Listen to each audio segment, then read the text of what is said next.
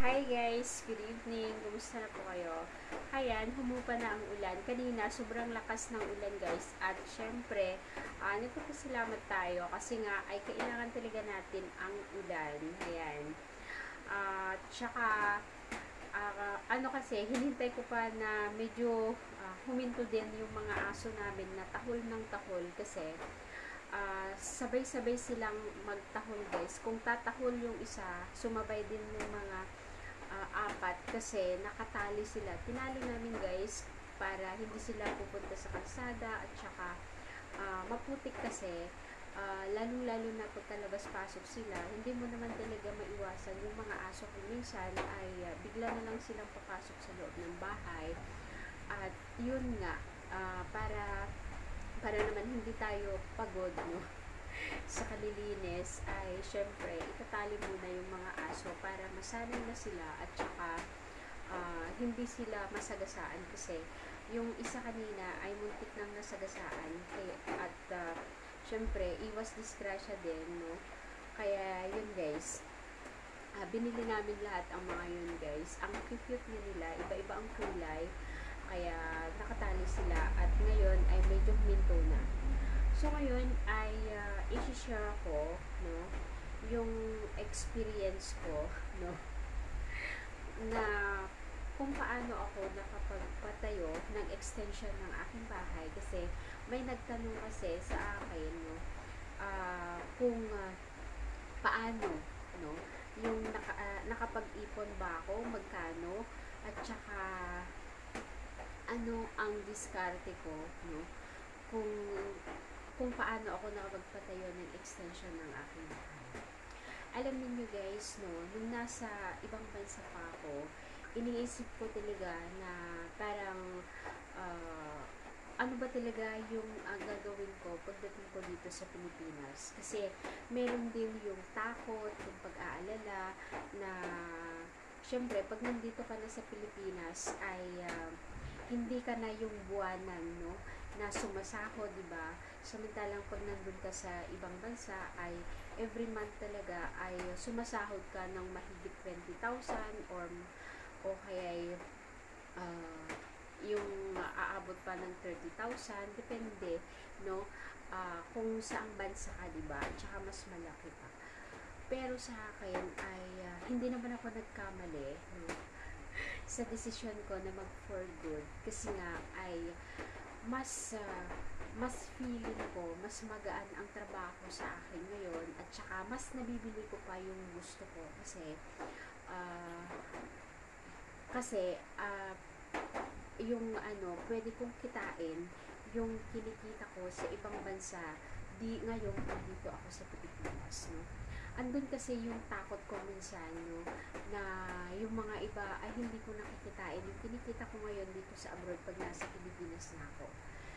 Ganon ang uh, pakiramdam pagka mahina yung loob mo at saka wala ka talagang plano, no, uh, bago ka uuwi. Pero pag may plano ka naman at saka ma positive thinker ka at saka uh, alam mo yung ginagawa mo, syempre, ay uh, mag-e-enjoy ka kahit nandito ka sa Pilipinas. Ngayon guys, ay babalik na po tayo kung paano po ako nakapagpatayo ng extension ng aking bahay at uh, yun nga, na hindi naman basta-basta uh, yung halaga guys, no, umabot din ng yung hindi pa siya totally natapos pero nang gumastos na ako ng more than 100,000 at makikita nyo naman no, hindi pa siya talaga tapos no?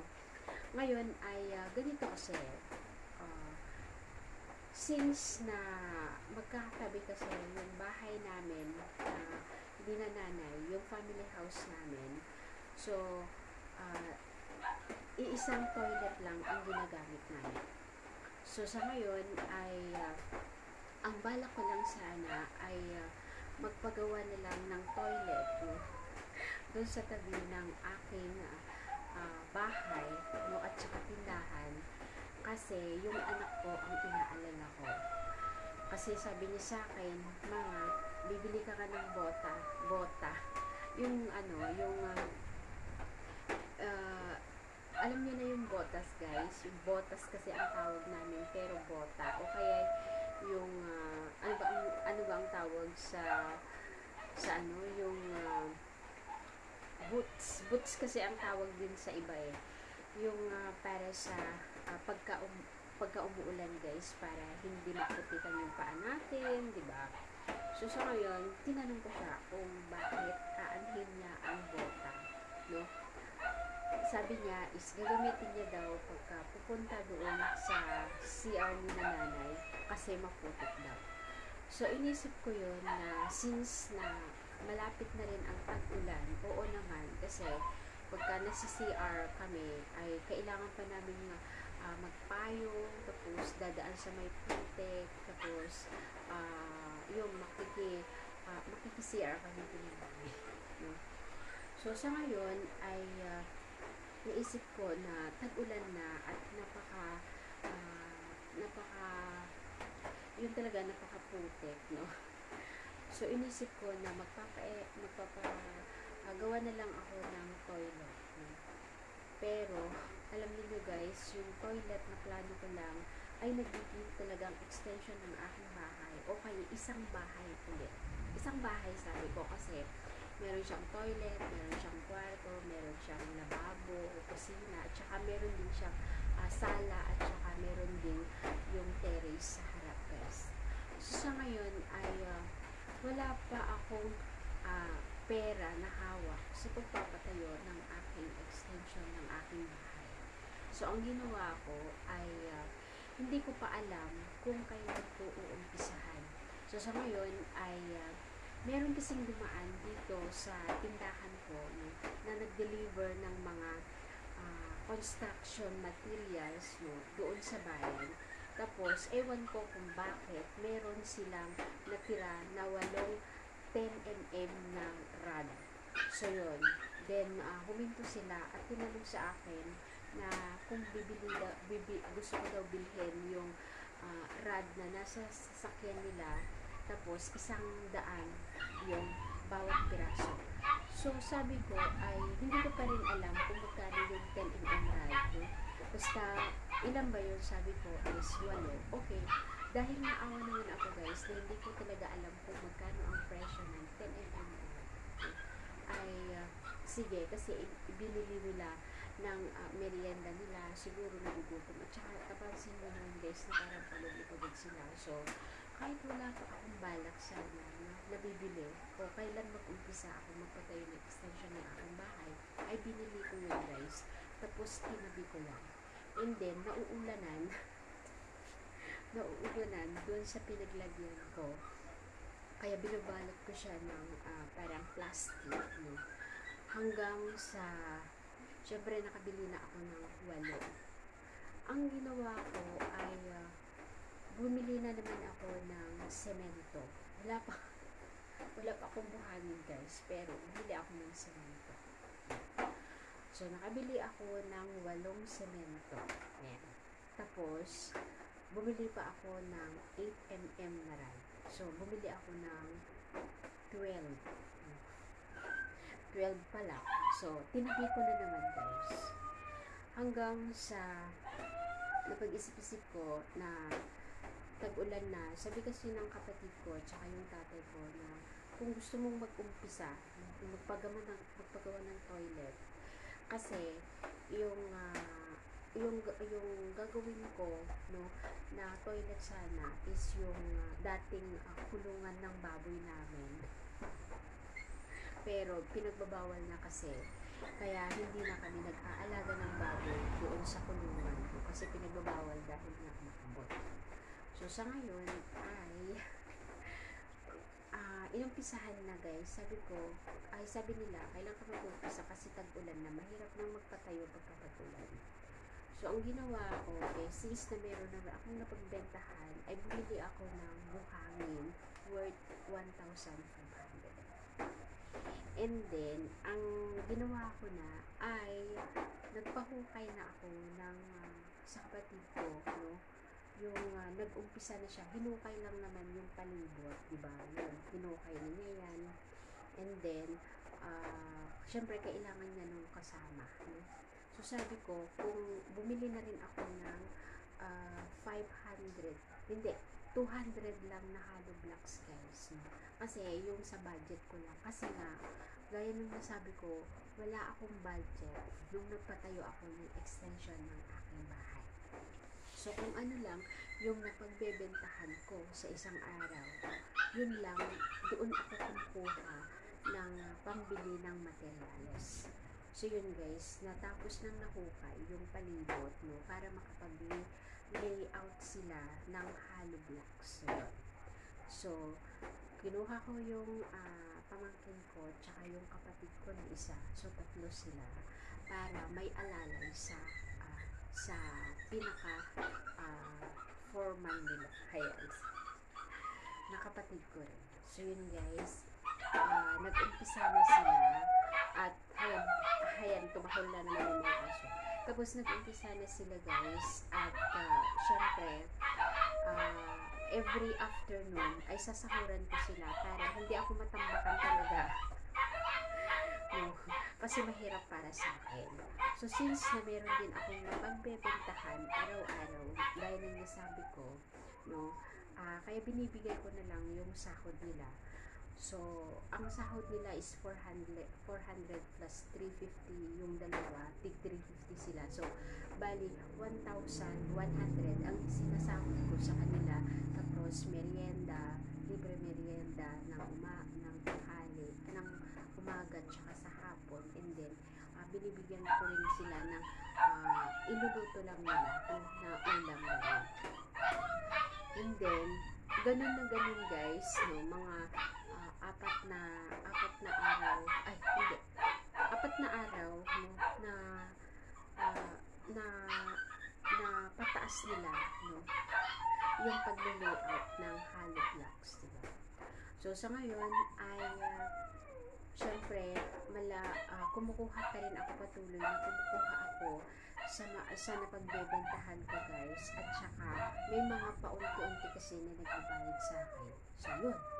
And then, yung ah, kaibigan ko na OFW na merong utang sa akin na more than 30,000 nag-trust talaga ako more than 30,000 so nagkaka-interest din yun sabi niya ibabalik niya, niya yung 20,000 para ah, wala na siyang ah, bayaran pang interest so yung interest na lang kasi hindi siya nakapagbayad ng dalawang buwan sa interest yun na lang ang mahuhuli. Tapos yung katawan ng pera o yung capital ng pera ay ibibigay niya.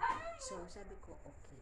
So binigay niya yung 20,000 guys no? Nakakatawa din so yung 20,000 then sabi ko wow meron na akong pambili ng ah, kahoy no para sa bubong at saka yung yero.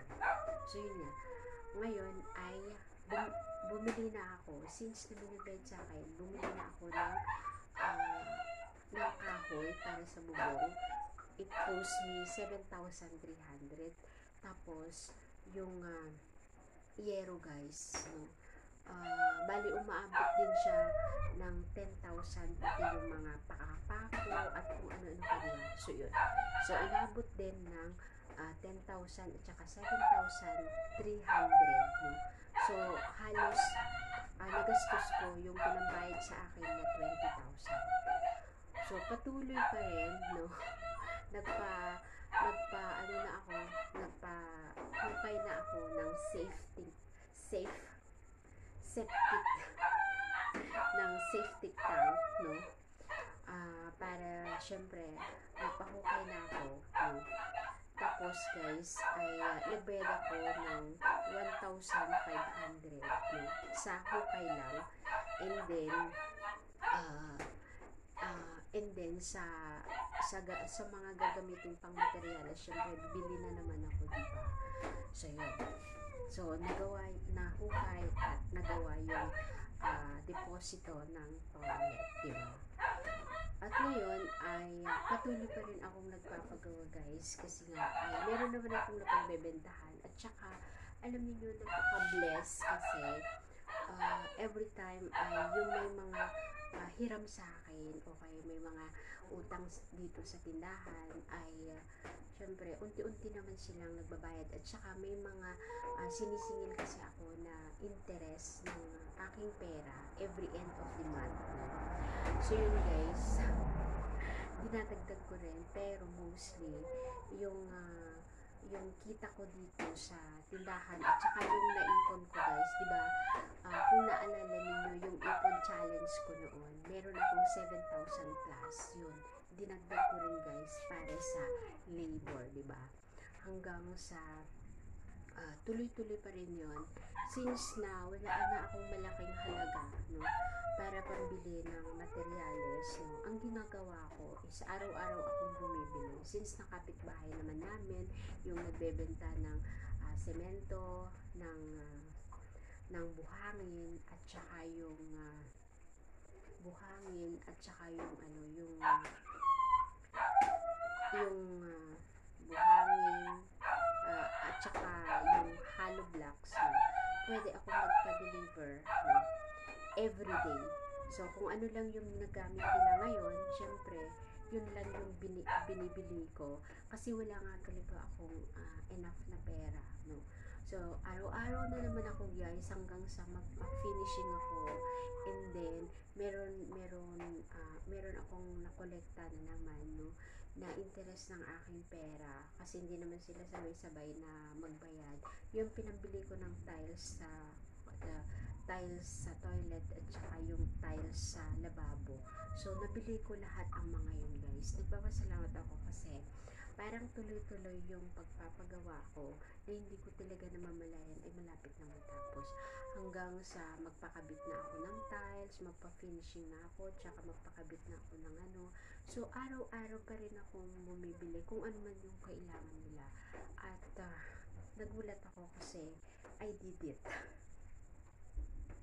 So, nung ano na, sabi ko, gusto kong huminga kasi araw-araw naman na lang akong nagpapalawas ng pera. So, na- nag-decide ako na hinto muna. Hinto muna kasi gusto ko munang makapag-ipon. No? Makapag-ipon. At ah, unti-unti akong nakaka-recover yung ah, unti-unti akong nakaka-recover no? yung ah, dating ah, ah, hawak ko na pera na dati ay ah, araw-araw akong nag ah, nag ah, nagbibili. Syempre pag araw-araw akong bumibili pa pabawas ng pabawas yung ah, hawak ng pera guys na pinagbebentahan ko nito. Hanggang sa mm, hanggang sa mapansin ko na medyo ah, ma- na, na- nagbabawas na. Pati yung mga paninda ko guys. Pero marami pa rin akong paninda. So sabi ko ay hinto muna ako ayan. Hanggang sa syempre sahuran ng YouTube no? Kasi meron akong talagang inaasahan na yung gagamitin ko sa pagpapagawa ng bintana at saka yung ah, pintuan ay ah, talagang inaasahan ko na galing sa aking YouTube video at yun nga guys hinintay ko hanggang sa ah, makuha ko yung sahod ko sa YouTube. Yun nagpapasalamat ako sa inyo. So yun meron ng bintana at saka yung ah, pintuan ng aking extension ng aking bahay. So, nagpahinga ako ng uh, parang dalawang linggo sa pagpapagawa ng aking bahay. At ngayon ay handa na naman ako guys. Magpapa, ipagpapatuloy ko ulit yung pagpagawa sa lunes kung uh, bakante na yung mga gagawa kasi meron na naman yung magbabayad ng interest sa akin ngayong katapusan katapusan no? Ah, hinihintay ko lang yung mga pambayad nila. Tapos yung mga magbabayad ng mga inutang nilang mga grocery items dito sa aking store. Kasi every end of the month naman ay magbabayad sila guys. Kasi may mga suki akong OFW na kumukuha ng mga stock sa akin no? Yung babay, magbabayad sila ah, sa katapusan pag magpas, magsahod sila yun inaabot sila ng mga 3,000, 2,000 plus. So, syempre, mga ilan ang mga yon at saka may interest naman ang aking pera. So, meron na naman akong pagpapat, pa, ipag, pagpapatuloy sa paggawa ng extension ng aking bahay. So, lakasan nyo lang yung loob nyo guys, no? Walang imposible pagka gustuhin talaga natin. Kagaya ko, di ba, nasabi ko sa inyo, nagpatay ako ng bahay na wala akong ah, hawak na pera, no?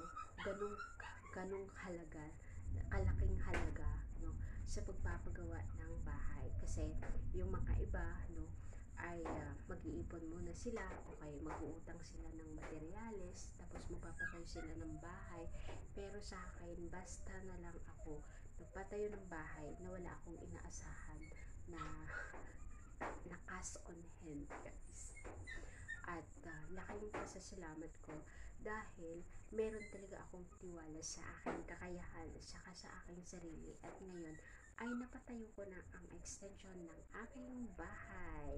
Ayan guys, no. Uh, so, meron na naman akong balak na uh, meron na naman akong balak na pag-iipunan, no. At yun ay malalaman ninyo pagdating ng araw. So, tatapusin ko muna yung uh, extension ng aking bahay. And then, saka ko uh, sisimulan yung uh, plano ko na naman guys no? So yun lang no? Maraming maraming salamat sa lagi ninyong suporta sa aking channel. So yun yung uh, journey ko sa pagpapagawa ng extension ng aking bahay. Pero mostly uh, yung ginagastos ko doon ay galing sa uh, sari-sari store nakita ko guys at syempre uh, pati na rin sa mga interest ng aking pera na pinautang at saka yung sahod ko sa YouTube. So yun lang, maraming maraming salamat and God bless po sa ating lahat. At syempre, yung sinasabi ko na kwarto ay studio ko yun guys. No? Magiging studio ko yun para mas okay naman yung magawa ng video na wala talagang istorbo at saka yung background ay hindi ganito guys. Nakikita nyo naman yung background ko dito. So, yun lang. Thank you so much. And uh, muli, maraming maraming maraming salamat talaga sa inyo. At uh, pasensya na kayo. No? Lagi akong nakasalampak dito sa floor. Kasi guys, mas komportable ako. Lalo, lalo na pagpagod na ako sa, sa gabi. At uh, dito, di, ito na yung talagang way para makapag-relax ako yung sasalampak ako dito sa floor no, na at uh, sabay gawa ng video. Bye bye! See you again sa next video.